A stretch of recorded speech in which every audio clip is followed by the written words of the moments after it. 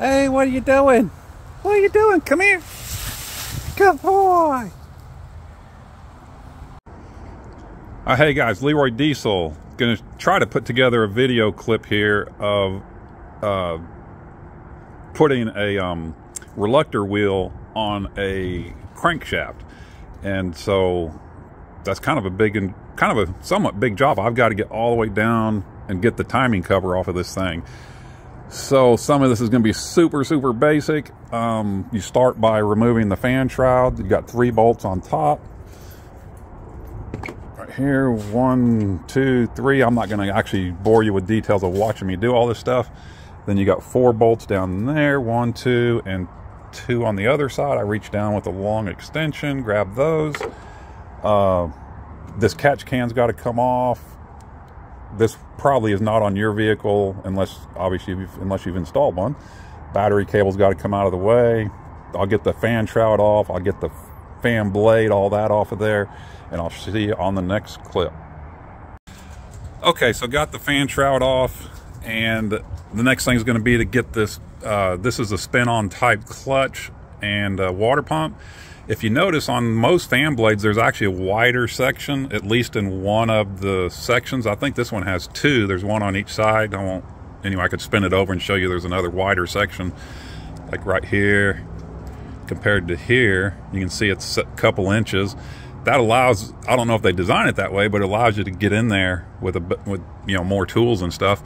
Anyway, something to think about next time you're doing one. Spin it over to the wide side. There's usually a gap on your fan blade so I'm going to pop that off. One tip is um, sometimes what I do is I just go ahead and just get it out. I don't even mess around with anything else. just get an air chisel and you can just pop that right on the corner of the hex so that the hex will be turning counterclockwise.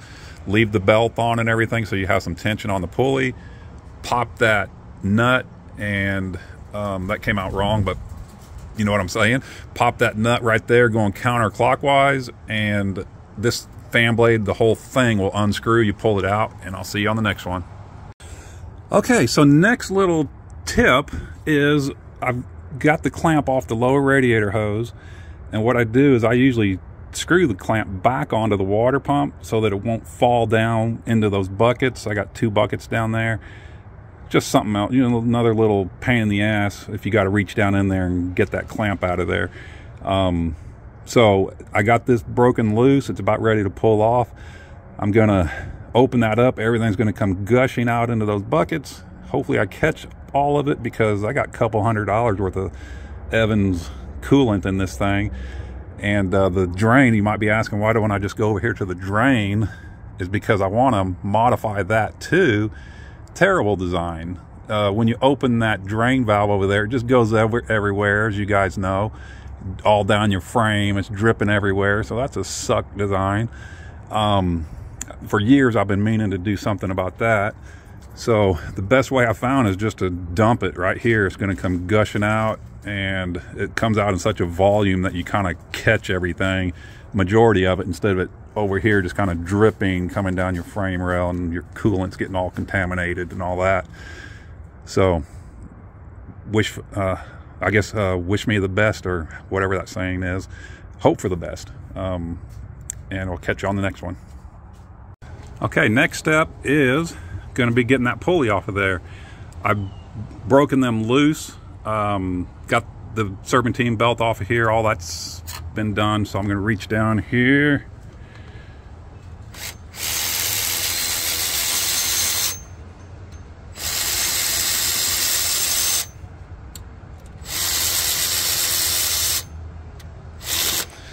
and be careful because that pulley will fall off of there. So I'm going to do that last bolt by hand while using my other hand to hold the pulley and uh, we'll see you on the next one. By the way, that pulley is available. It's a billet pulley. Go to LeroyDiesel.com. Okay, so I was actually lucky. This one was not very tight anyway. I wouldn't have had to use an air chisel. But let me show you what I've got. Is just your average guy in your driveway could use this setup is get the belt off. Then on your pulley, I got a, a tiny pipe wrench. You could use one a little bit bigger, but the idea is to catch it right there behind the pulley. And if your um, fan clutch is super tight, then be careful. You don't want to deform or bend your pulley. So if you get to the point where you're feeling like you're putting enough torque that you're going to damage the pulley, you're going to have to find another method. And you might also be asking, why don't we use the tool that you can rent at AutoZone and things like that? Those things suck. That's why. Um, um, yeah, they just, they're not good. Not any ones I've ever seen. But, okay, so anyway, you get the wrench on here, you get it butted up against something solid, get a big crescent wrench right here I've got, and that goes down to the nut. And yeah, that's about all it took for me to get it off off camera before I prepped this uh, video. So it wasn't on there super tight. I do use anti-seize on those threads though. So last time I put this together, I pookied that up with a bunch of anti-seize and I think that helped a lot. So now it's just a matter of unthreading this clutch and doing this with one hand. It's gonna fall down. I gotta be careful it doesn't damage the radiator. So make sure you don't damage your radiator when this falls off. Let's see if I can do this. I felt like it was towards the end of the thread already, but more on there than I thought. Oh, there it goes. Okay, so I kept it from hitting the radiator, and then I'll get that out of there. See you on the next one. Okay, so what I've decided to do is I'm going to show you how you can do this without any kind of special tools, such as the air chisel, um, like I just showed you in the previous clip. So in this case, what you need to do is and on this tensioner, yours may be different. This what takes a half inch drive, like on the 95 and older. Uh, you just have to release that tension. Um, I, I, think you just got to get a wrench on the bolt. On the 96 and newer, there's a provision right here. So you, I won't, again, I'm trying to make these clips as quickly as I can. I'm just going to release the tension like you see there, and I can't do get the belt off while holding the camera. So I'll get that off of there and I'll show you what I do for the water pump pulley to hold it still on the next one. Okay, I'm gonna try to show you what's going on here, draining this coolant. I'm just gonna slowly do this because again, this Evans coolant is so expensive. There we go, just kind of crack that hose off the water pump and it'll, it's somewhat controllable going into those uh, buckets down there.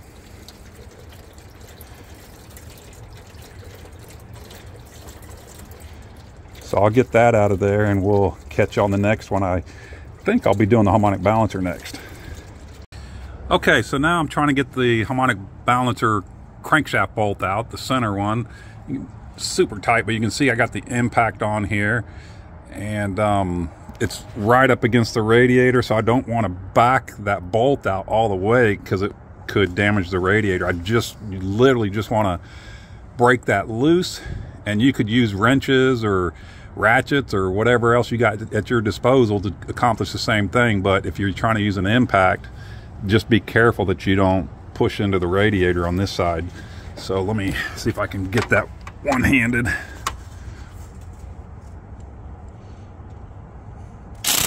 Oh, I got it untightened. There it goes. See, I I caught it way before it could get into the radiator. I'm going to suck it back down clockwise it's kind of bottomed out there and now I can sort of work that socket off of there and twist the impact. So be careful if you're using that method. Um, otherwise use uh, regular um, wrenches, extension bars, all that kind of thing. Um, this literally zipped it off in about five seconds. Um, putting it back together, definitely don't use the impact. You could kind of zip it down a little bit but then you obviously want to do that final torque. Um, the torque value on that bolt is 200 pounds. So there you go. See you on the next one. Okay, just showing you the beginnings of the harmonic balancer, harmonic balancer installation tool and removal tool. So the way you you get this, I'm just showing you this because it's also for rent on the website. Um, it'll come zip tied with the insert, the threaded insert there and then um, it comes in a plastic bag. Throw that to the side. And then I also zip tie this mainly just for shipping purposes. so that it doesn't, you know, get all loose in the box. As long as they're available, I will also include four bolts. So the, these bolts happen to be 5 8 inch. This happens to be 5 8 inch, so I've got a 5 8 setup here. Uh, that'll be for holding or turning whatever you happen to be needing to do this inner shaft and then on the outer sleeve it takes an inch and a 16th or in this case a 27 millimeter. There it goes 27 millimeter on the outside. So I'll get that set up and I'll show you a little bit more how it works. Okay the next step and just to clarify when you're removing the harmonic balancer you're going to need to use two one two of your original crankshaft pulley bolts. I'm going to set that aside on my little trusty car dolly. And on the tool itself, there is a flat side and then a beveled side. You want to set it up just like you see here. This is going to push, let me get my finger on it. That's going to push against the crankshaft so it doesn't damage the threads. And then um, the bolts, you'll only use two of them. They'll go 180 degrees from each other. trying to get that set up. It's off camera. Okay. So you'll get that set up kind of like that, 180 degrees from each other. Screw that into two of the bolt holes on the balancer. I'll show you what that looks like on the next one. Oh, uh, uh, yeah, just to clarify, you'll reuse these two bolts from the pulley, and then those four bolts are going to be for when you use the holding tool for torquing the uh, crankshaft bolt back down, which I'll show you here in a few minutes. Okay, so the next thing I'm going to do is remove this side of the bracket, the alternator side. This, again, this is a 96 and newer, so 96 to 02 on a truck. Uh, you've got two studs that the whole bracket rests on. Hopefully we can see that. One right here, one just a little higher, so that's two, two 15 millimeter nuts. Up inside, right back here, where you see my finger, there's a 13 millimeter. And you, you might have to get a um, uh, ratchet on this thing and move the pulley up while you access that, or you, something you may have enough room without doing that. And then back, oh, this glare is so bad back over here, I'm kind of pointing in the general direction, but back behind the alternator here is another bolt. Once you get that off, then it's just resting on these two studs and the thing will slide off basically at that point. Now, I do want to make sure and point out that you should be disconnecting your battery because this terminal on the alternator is hot and um, disconnect the battery and then remove that and what I'm planning on doing is just taking this whole thing off of here and uh, let me get that disconnected. And um, so real simple on this side and then I'll get to the other side in a few minutes. Okay, so here's the balancer removed. And you can see that the blunt end of that tool is what presses up against the crankshaft. Let me, yeah, you see that. Well, again, no cameraman. I need a cameraman. There we go. The inner part of the tool is what presses up against the crankshaft so you don't damage the threads. Then when you get that thing pulled off of there,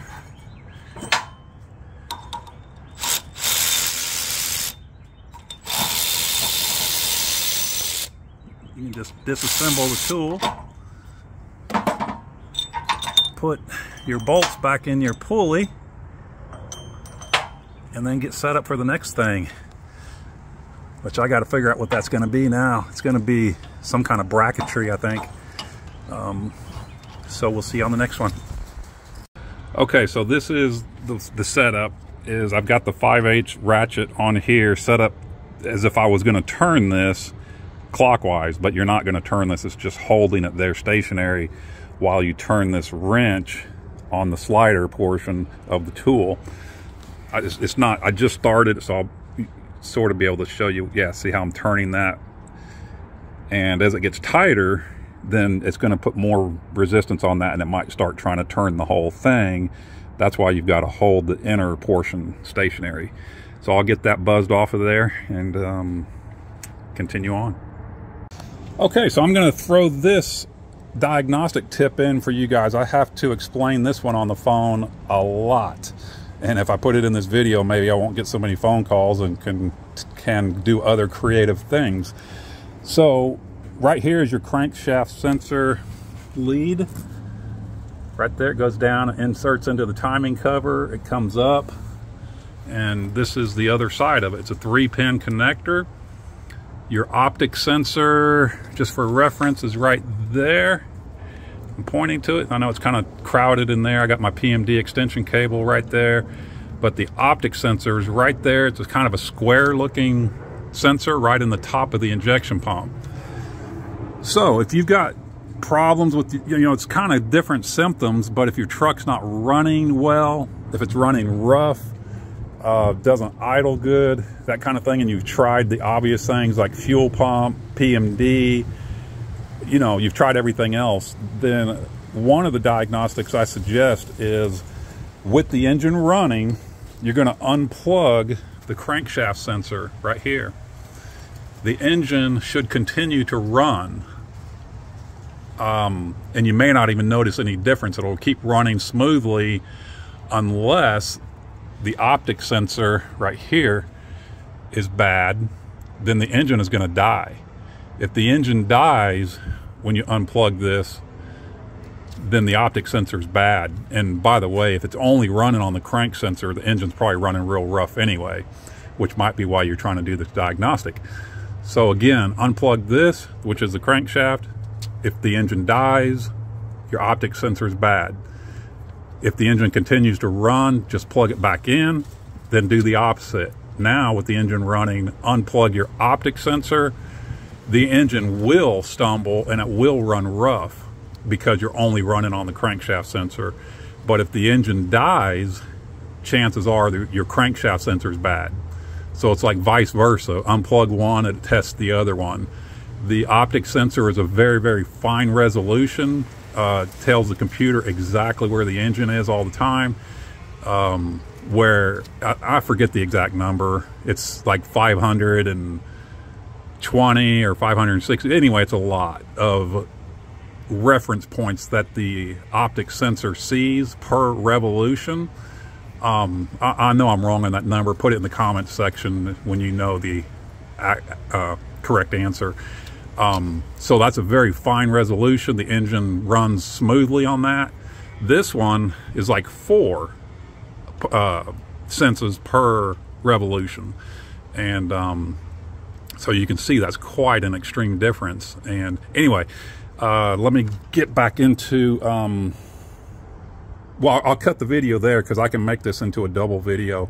It'll be part of my, well, I'll cut it right there. we'll see you on the next clip.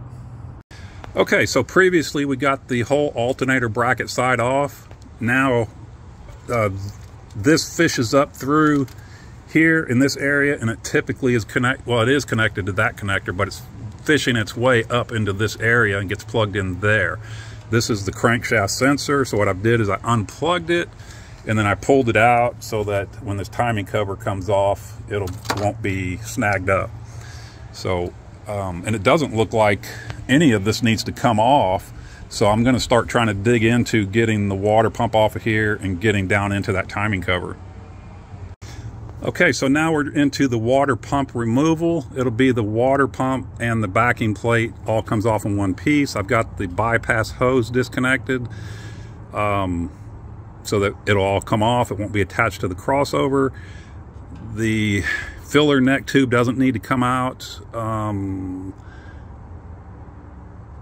yeah, shouldn't need to come out, but once you, there's four bolts here. That These are the two studs that I was talking about earlier that hold the alternator bracket, part of that on. Those come out, and they're also, just in case I forget to mention it later, they get sealed.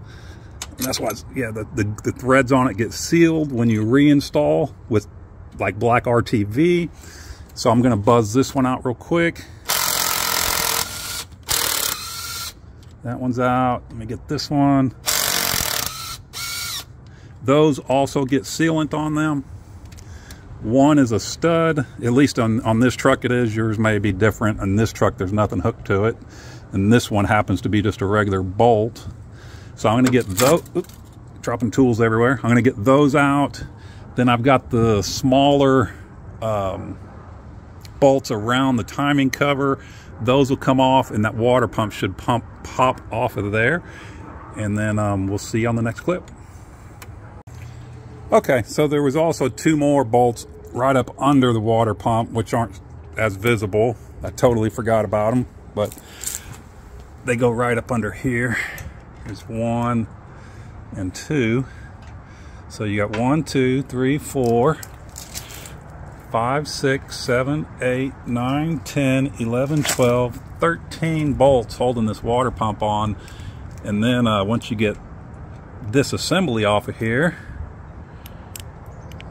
then the water, I'm not gonna, I'm not doing this job. So, I mean, I don't need to do this job.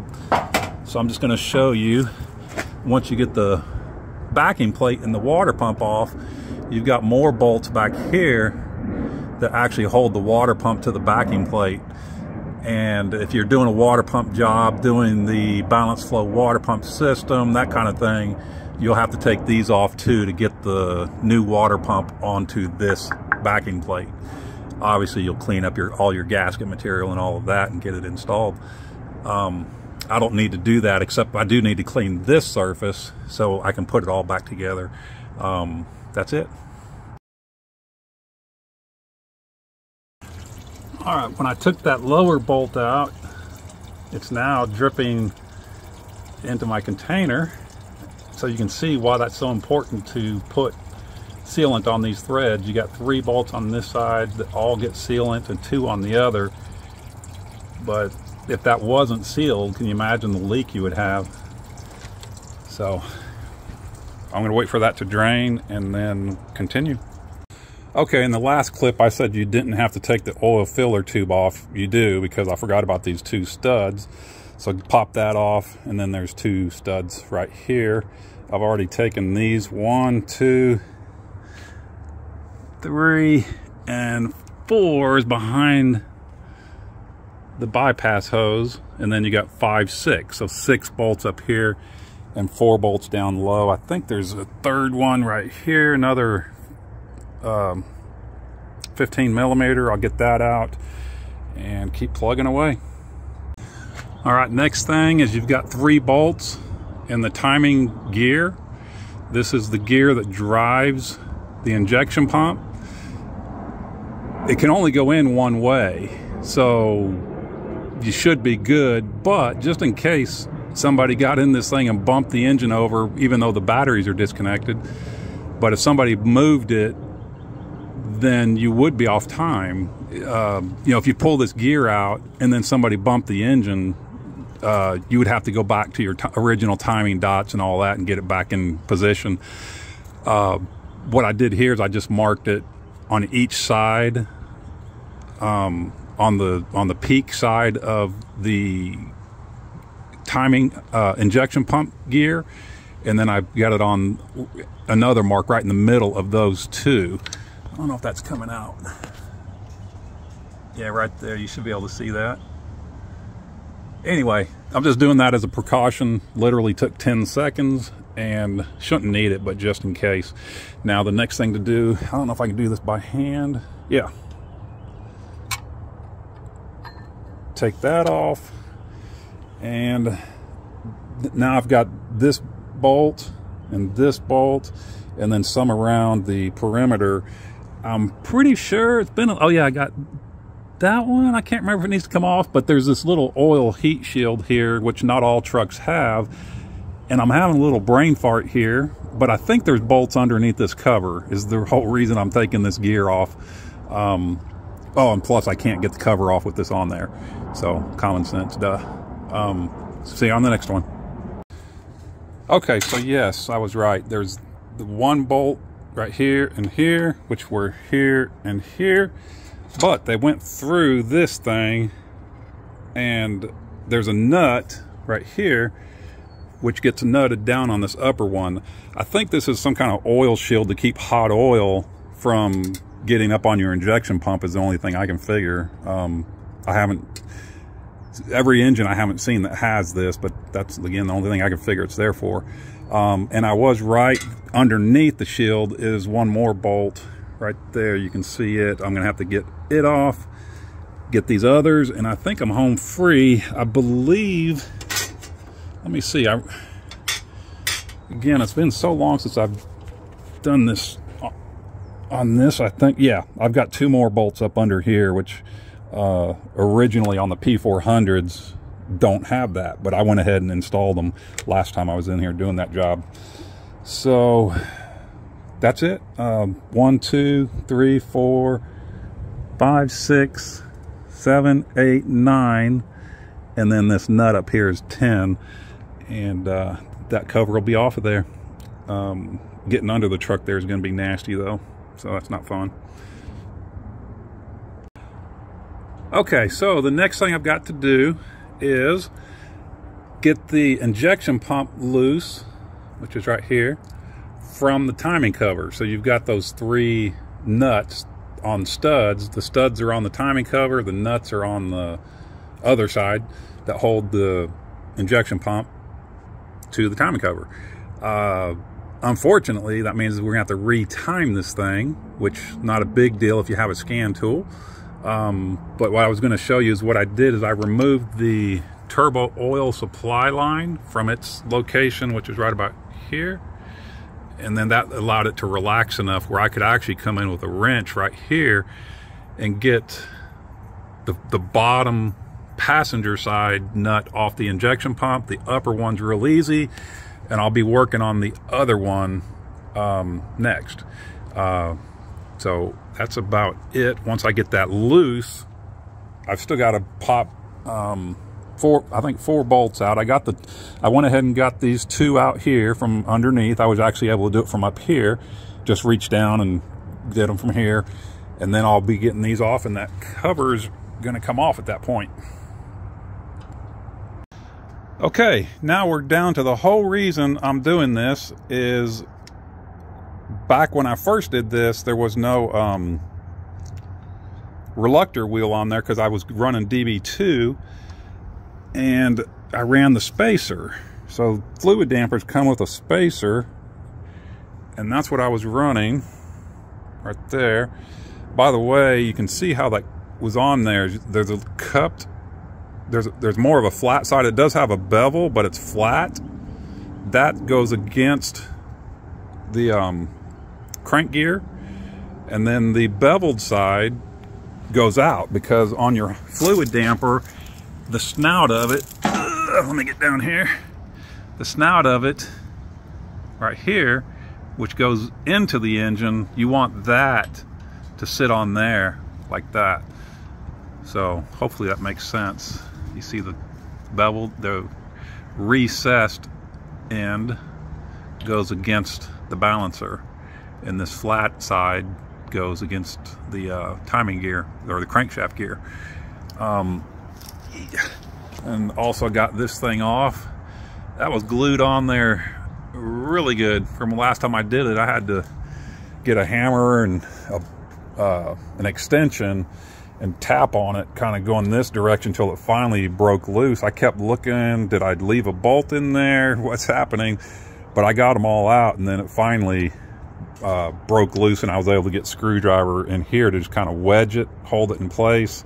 And then I'd pull it a little more and wedge it a little more. Finally worked it off of there, but it was just all the way around here. The last time I did this job, I, I really, you know, really did a good job because it wasn't going anywhere. I think I could have towed this truck around if I would have latched a chain to it. Um, so that's it. I'm gonna, it's kind of starting to get dark here. I'm gonna put up for the night uh, come back, clean all these surfaces everywhere. And, um, oh, this is the, also behind here are my time, my timekeeper gear set.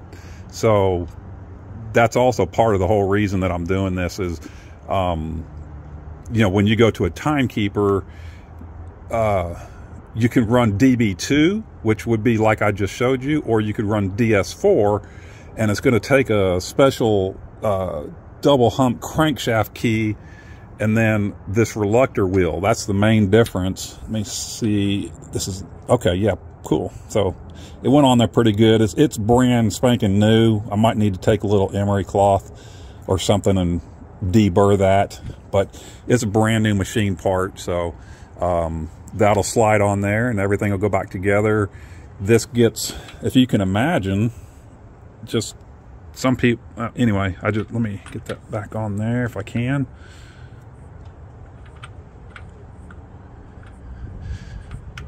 It slid right on there a second ago. There it goes. I'm not going to force it all the way down, but when that's all the way down, and then you put in your harmonic balancer, and then you put 200 pounds of torque on that bolt, that, that balancer is just pushing into that. So this is not going anywhere. It's riding on the on the keyway, but it's get it's mechanical clamped that way. Um, so that reluctor wheel's not going anywhere unless your crankshaft pulley, I mean, uh, balancer comes undone and gets sloppy, but it, it's pressed on there, so it should not go anywhere. Um, was I out of focus that whole time? So th that's about it. Uh, we'll catch you. Not that it matters to you right now because you won't know the difference, but I'm going to get back here tomorrow and we'll continue. All right, just a very quick video clip here. I've got everything cleaned up down there. I've just put the uh, gasket sealer on here, the gasket maker, the black RTV stuff, and um, so I've got a bead all the way around it, real thick bead down here, and I'm waiting for that to tack up just a little bit, but I can't be too long, so I got to time this. Um, I'm going to slap that on there and continue on. Okay, so pretty much from here on out, it's just the reverse of what I have shown you in the previous clips, but I'll do these things real quick. Got the timing cover on, got everything torqued down, got the shield back in, uh, getting ready to put the timing gear back on, and I'll catch you on whatever I think might need to be there for information. Okay, so I'm going to put the harmonic balancer on now that I've got real good access to it. Um, on the tool itself, you can see now the flat side of the tool is going against the balancer. I've got the threaded insert that goes in the threaded portion. It's threaded into the crankshaft and you want to get that as far into the crankshaft as you can and then adjust this up to the balancer. You want as much meat in that uh, crankshaft as you can. And um, so it's pretty self-explanatory from this point. I'm going to hold this wrench while I turn this wrench clockwise, and that's going to push that balancer right on. Um, so let's catch you on the next one. Okay, so now I've got the alternator bolted down, secured, uh, put the belt on. I showed you um, how to get the belt off. You can put a half inch breaker bar. Some of them are 3 eighths you relieve the tension or you take tension off and then you can slide the belt under getting ready to put the fan clutch back on. And I think it's getting a little dark. I didn't realize how dark it was already. Um, here.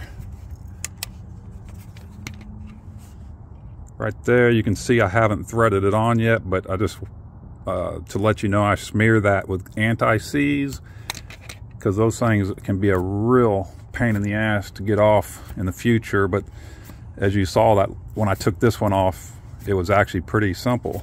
But you just, that's all you do, just bottom it out, and then uh, as the engine turns, it's going to put more torque into it, and it will just naturally tighten up. I don't find any reason to tighten them up.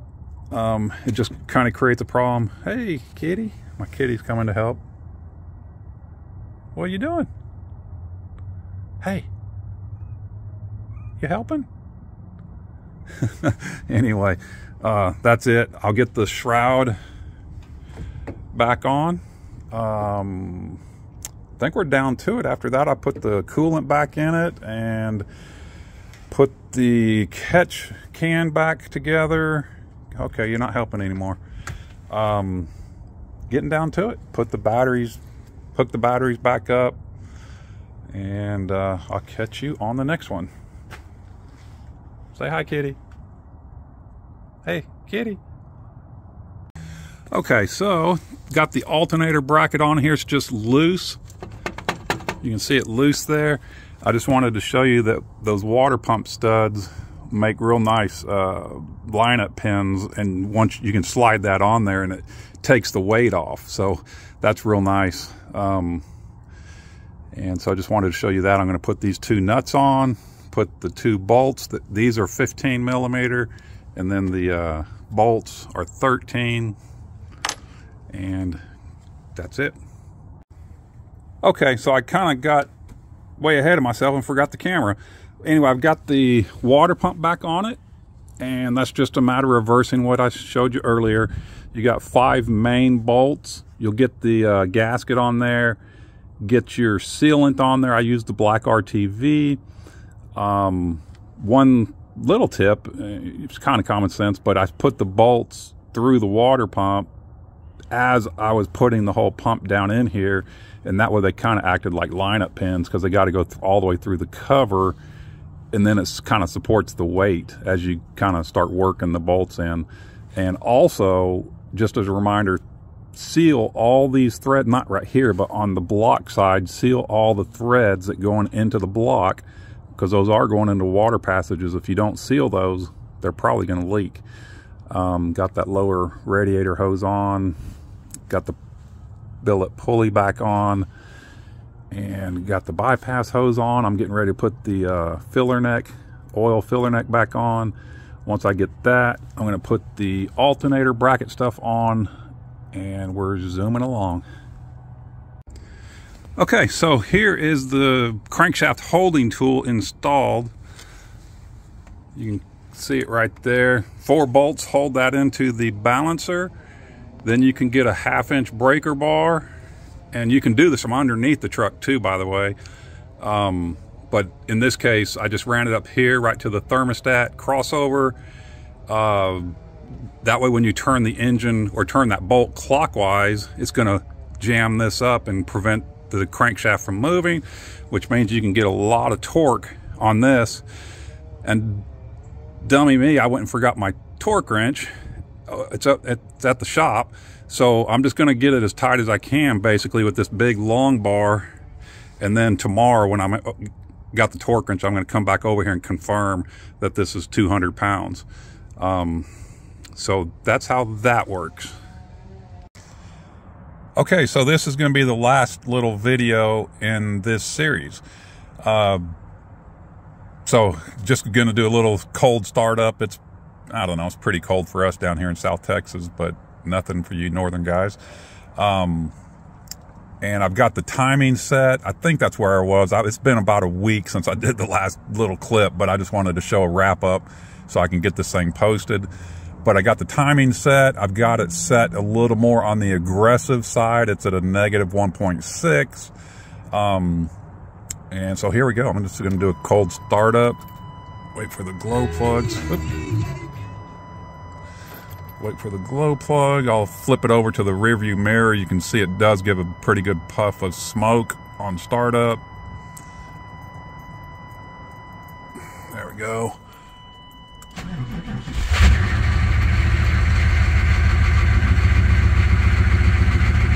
Well, I think the smoke shot out so quickly, we didn't even see it. You see it out there in the yard, kind of wafting away. Usually kind of, you know, just stays right around the exhaust pipe there. And But I, maybe, I don't know, maybe there's some wind out there. Let me take you outside.